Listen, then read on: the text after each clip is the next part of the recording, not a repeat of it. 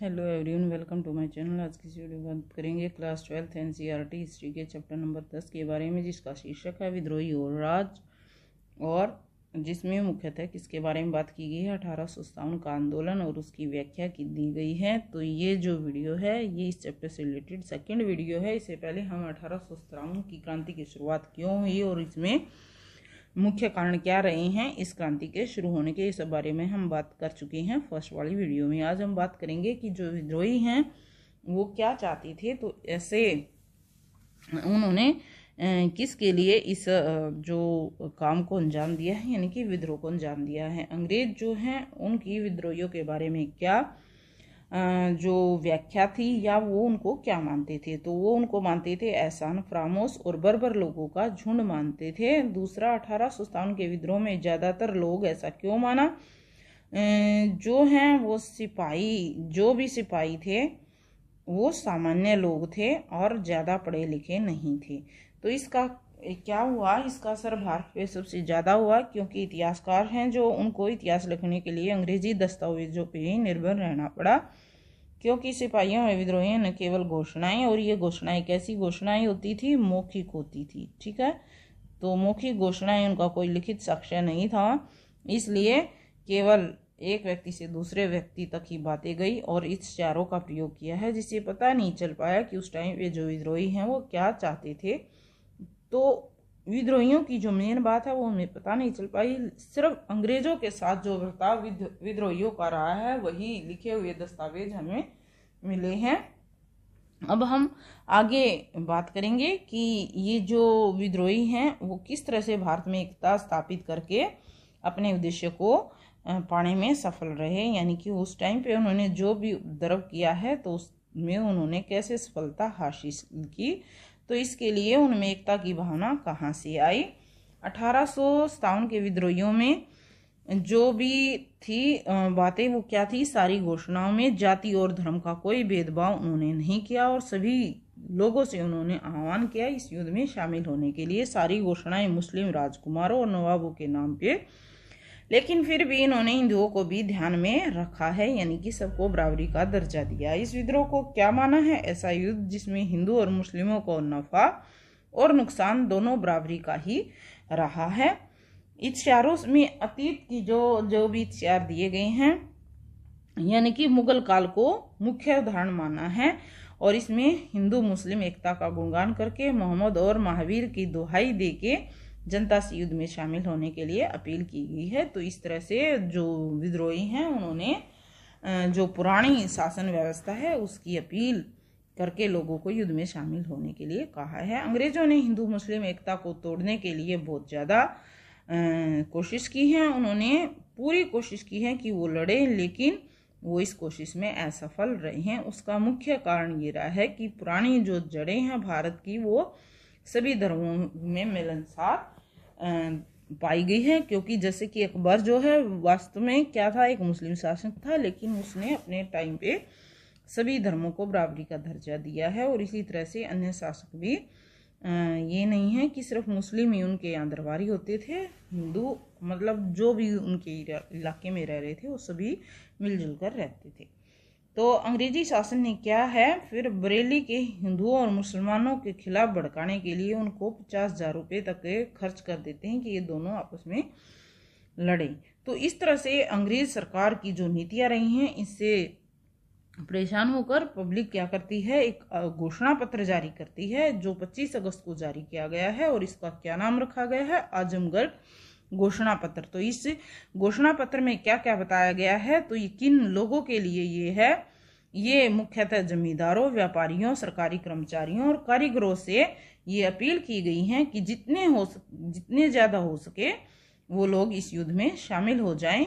क्यों? क्योंकि जैसे कि जमींदारों से जमींदारी छीनी गई, जो कम या छोटे कमी ज़मीन ज़मीन वाले या छोटे जमींदारों को बिल्कुल उनकी ज़मीन से हाथ धोना पड़ा तो इस तरह से उन्होंने, अंग्रेज़ों ने अपने फ़ायदे के लिए हर तरह के लोगों को क्या किया है? बहुत ज़्यादा दबाया है। और इसी तरह से व्यापारियों के साथ भी हुआ है और फिर सरकारी कर्मचारियों के, क्योंकि विद्रोह का कारण ही क्या रहा है? सरकारी कर्मचारियों के साथ, जैसे कि सिपाहियों के साथ वेतन में कमी की गई तो सभी लोगों को इसमें शामिल होने के लिए और इसी तरह से कारीगर भी बर्बाद हो गए, तबाह हो गए और पंडित फकीरों से भी कि वो हिंदू, मुस्लिम को आपस में लड़ाना चाह रहे थे तो इसलिए सभी से प्रार्थना की गई कि सभी इस युद्ध में शामिल हो जाए। तो ये जो उत्पीड़न हो रहा था सभी वर्गों का, उसके खिलाफ क्या क्या लोगों ने किया है या अंग्रेज़ों की क्या नीति उत्पीड़कों के खिलाफ उन्होंने क्या क्या हथखंडे अपनाए हैं? तो इस घोषणा पत्र में क्या है? देशी रियासतों पर कब्जा, समझौते के उल्लंघन के लिए अंग्रेज़ी सरकार की निंदा की गई है। और ब्रिटिश भूव्यवस्था ने क्यों क्यों की गई है? क्योंकि छोटे भूस्वामी को ज़मीन से बेदखल कर दिया और विदेशी व्यापार से दस्तकार और बुनकरों को तबाह कर दिया। सभी जो विद्रोही हैं, वो सभी उत्पीड़कों के खिलाफ ऊंच और नीच के भेद को खत्म करना चाहते थे, यानी कि ये सभी को बराबर लेके चलना चाहते थे। तो इसलिए लोगों ने क्या की? वैकल्पिक सत्ता की तलाश, यानी कि अंग्रेज़ों को भगाकर ऐसी सत्ता जो उनके फ़ायदे में हो। तो ब्रिटिश शासन ध्वस्त हो जाने के बाद विद्रोही दिल्ली, लखनऊ और कानपुर में अलग तरह की सत्ता स्थापित करने की कोशिश में लगे रहे और 18वीं सदी की ब्रिटिश पूर्व दुनिया की स्थापना की वो कोशिश करने लगे। जैसा कि हमने पिछली वीडियो में जाना था कि जो यूपी से एक किसान था तो उसने क्या किया था? अपने आसपास के जमींदारों को, चौरासी गाँव के जमींदारों को इकट्ठा किया और इस विद्रोह में शामिल किया और जो अंग्रेज़ों की जो बंगला है, उनको लूटा। और एक बंगले पर स्वयं कब्जा करके वहाँ से जो पुरानी तरह की जो शासन व्यवस्था है, उस तरह से वो काम करता है। तो क्या चाहते थे विद्रोही इस तरह के लिए? तो उन्होंने जो भी है, इसके लिए क्या क्या चीज़ें प्रयोग की हैं? दरबारी संस्कृति की स्थापना की है, विभिन्न पदों पर नियुक्ति, भू राजस्व वसूली और सैनिकों के वेतन की व्यवस्था की गई है। लूटपाट बंद करने के लिए हुक्मनामा जारी किया है। अंग्रेज़ों से युद्ध के लिए योजना बनाना, ये सब मुगलों से ली गई उनकी प्रेरणा है। जैसे कि मुगलों से एकता को ही आधार बनाकर उन्होंने हिंदू मुस्लिम को एक दिखा के अंग्रेज़ों को असफल रहा उनकी इरादे में कि वो इनके बीच फूट डाले। विद्रोहियों की शासन व्यवस्था का पहला उद्देश्य क्या रहा है? युद्ध की जरूरतें और इस युद्ध जरूरतों को पूरा करने के लिए, जैसा कि हमने पहली वीडियो में जाना, क्या किया? सरकारी खजाने को लूटा, ठीक है? सरकारी दफ्तरों पे उन्होंने कब्जा किया। क्या किया है? सरकारी खजाना उन्होंने लूटा है। अवध के प्रतिरोध में सबसे लंबा अठारह के शुरुआती दिनों तक खून की श्रेणियाँ भी मौजूद रही है।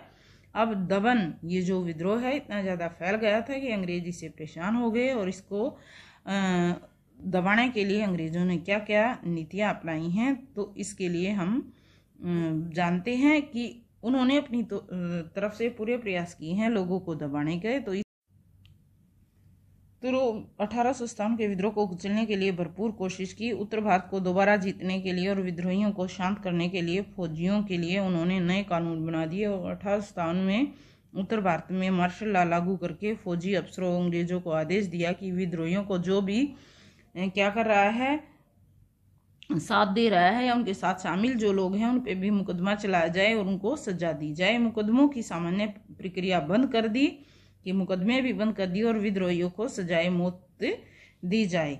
नए विशेष कानूनों और ब्रिटेन से मंगाई सैनिक टुकड़ी ने विद्रोह को कुचलने की पूरी कोशिश की है। दिल्ली को कब्जे में लेने की अंग्रेज़ी सरकार की कोशिश जून से सितंबर तक चली और दोनों तरफ़ से पूरी कोशिश की गई। गंगा के मैदान में जीत का सिलसिला कमज़ोर रहा, लेकिन फिर भी अंग्रेज़ों को, अंग्रेज़ जो हैं वो गाँव को जीतते जा रहे थे। आम देहाती जनता और आसपास के लोग भी इस सैनिकों के साथ विद्रोह में शामिल हो गए, लेकिन फिर भी क्या हुआ कि जो विद्रोही हैं वो अपने विद्रोह को जारी रख रहे हैं और जो अंग्रेज़ हैं वो पूरी तरह से कोशिश कर रहे हैं भारतीयों को दबाने के लिए। ये जो लंबी लड़ाई है वो कब लगभग अठारह में दिल्ली को कब्जे में लेकर समाप्त हो पाती है।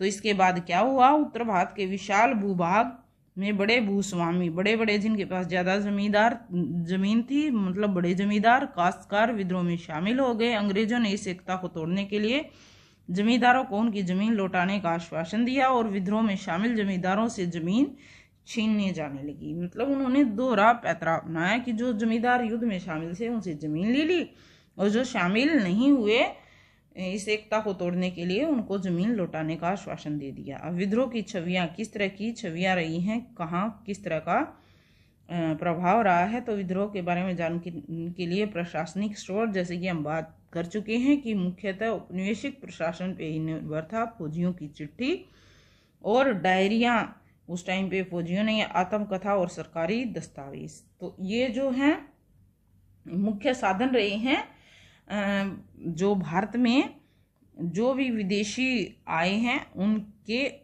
दस्तावेज़ ही मुख्यतः काम आए हैं भारतीय इतिहास को जानने में। या जैसे कि जो फौजी हैं, जो फौज में थे, उन्होंने थोड़ी बहुत डायरियाँ और अपनी कथाएँ उसमें लिखी हैं तो उनसे हमें पता चला है। नेक्स्ट टॉपिक है हमारा रक्षकों का अभिनंदन कि। जो रक्षक हैं, भारतीय समाज के, उनका अभिनंदन, उनका स्वागत किस तरह से किया गया है? तो अठारह सौ उनसठ में थॉम्स जोन्स वर्कर ने एक चित्र बनाया है, जिसको रिलीफ ऑफ़ लखनऊ इस श्रेणी का उदाहरण है कि किस तरह से रिलीफ ऑफ़ लखनऊ में बताया गया है कि उनको, अंग्रेज़ों को रिलीफ मिला है। तो लखनऊ के बारे में जो चित्र है, अंग्रेज़ इतने परेशान विद्रोहियों ने किए हैं तो इसमें मुख्यतः क्या है कि विद्रोहियों ने जब लखनऊ पे घेरा डाला तो लखनऊ का जो कमिश्नर है, हेनरी लायंस, लॉरेंस, उसने ईसाइयों को इकट्ठा किया और सुरक्षित रेजिडेंसी में शरण ले ली। बाद में लॉरेंस को मार दिया गया, परंतु कर्नल इंग्लिश के नेतृत्व नेतृत्व में रेजिडेंसी जो है उनकी सुरक्षित रही कि ये रेजिडेंसी कौन सी थी? अंग्रेज़ी रेजिडेंसी ठीक है? इतने ज़्यादा खौफनाक समय रहा है उनका विद्रोहियों के प्रति तो रेजिडेंसी में भी वो सुरक्षित पच्चीस सितंबर को क्या हुआ? जेम्स ऑर्ट्रम और हेनरी हेवलो के नेतृत्व में विद्रोहियों को तितर बितर किया गया। और इसके बीस दिन बाद आता है कॉलिंग कैम्पबेल, उसने बारी सेना के साथ ब्रिटिश रक्षक सेना को घेरे से छुड़वाया और बारकर की जो पेंटिंग है, काम्बल के आगमन का जश्न मनाती है। कैनवास के बीच में क्या है? ऑट्रम कैम्बल और होलक को दर्शाया गया है, जो कि उजाले में खड़े हैं और अंधेरे हिस्से में टूटी हुई रेजिडेंसी को दिखाया गया है। ये वो चित्र है जहाँ पे अंग्रेज़ों की जो है कहेंगे मायूसी या उनके भोलेपन या उनके जैसे कि नाकाम होने को दिखाया गया है। अब अंग्रेज़ औरतें और ब्रिटेन की प्रतिष्ठा जो ये चित्र आपको दिखाई दे रहा है, इसमें पता चलता है कि किस तरह से अंग्रेज़ औरतें निशाई हैं और बच्चे किस तरह से लेटे हुए हैं और किस तरह से वो ऐसाए हैं। तो ये जो चित्र है, इसमें कौन है? अठारह में जोसेफ नोइटल ने सैन्य विद्रोह के दो वर्षवासी चित्र को इन मेमोरियम को बनाया है। इस चित्र का नाम क्या है? इन मेमोरियन और इसमें अंग्रेज़ औरतें और बच्चे एक दूसरे से लिपटे हुए दिखाए गए हैं। वे लाचार और मायूस हैं। मानो की भयानक घड़ी की वो आशंका दर्शा रहे हों। अपनी बेजती मान और मौत का इंतज़ार करे हों।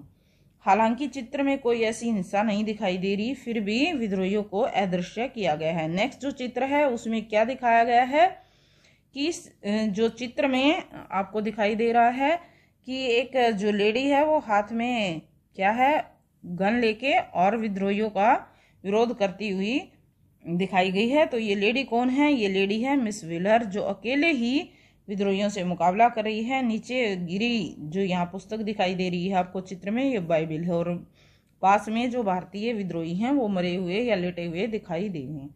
अब प्रतिशोध और सबक। इतने ज़्यादा मजबूर हो गए थे तो उन्होंने प्रतिशोध लेने की भारतीयों से सोची और इसके साथ साथ भारतीयों को सबक सिखाने की। तो जैसे ही ब्रिटेन में गुस्से और सख्ते का माहौल बना, बदले की मांग ज़ोर पकड़ने लगी। माहौल ऐसा बना मानव न्याय के मूल्य की रक्षा करने के लिए ब्रिटिश सत्ता को दी गई चुनौती के लिए विद्रोह को कुचलना ज़रूरी हो गया हो अंग्रेज़ों के लिए। तो इसलिए उन्होंने क्या क्या हथकंडे अपनाए तो इस विद्रोह से आतंकित जो अंग्रेज़ अंग्रेज़ हैं, उन्होंने अपने अपराज्य स्त्री का चित्र बनाकर यह दिखाने का प्रयास किया है कि वह वेद गुस्से में हाथ में तलवार दूसरे में ढाल लेकर सिपाहियों को पैरे तले कुचल रही है। इस तस्वीर में हमने ये देख लिया है और विद्रोहियों को मृत्यु दंड देने के भी चित्र उन्होंने बनवाए हैं, जिसमें दर्शाया गया है कि विद्रोह का भयानक परिणाम होता है। जैसा कि आप सभी जानते हैं कि अंग्रेज़ जो हैं, वो दिखावे में ज़्यादा विश्वास करते हैं तो उन्होंने बढ़ जट कर जो भी चित्र बनवाए हैं तो वो क्या लोगों को डराने के लिए? इसी दहशत का प्रदर्शन, प्रतिरोध और सबक सिखाने के लिए कितनी निर्मम दंड दिया गया लोगों को? जैसे कि फांसी पे लटकाया गया, तोप के मुहाने पे बाँध के उनको उड़ाया गया तो इस तरह की निर्ममता से भारतीयों की हत्या की गई। दया के लिए उनके पास अब कोई जगह नहीं थी, क्योंकि वो भारतीयों के व्यवहार से या विरोधियों के व्यवहार से बहुत ज़्यादा परेशान हो चुके थे। तो प्रतिरोध के शोर में उनके पास अब दया की कोई जगह नहीं थी। कैनिंग ने जब ये कहा कि नरमता और दया भाव से सिपाहियों की वफादारी मिल सकती है तो ब्रिटिश प्रेस में उनका मज़ाक उड़ाया गया।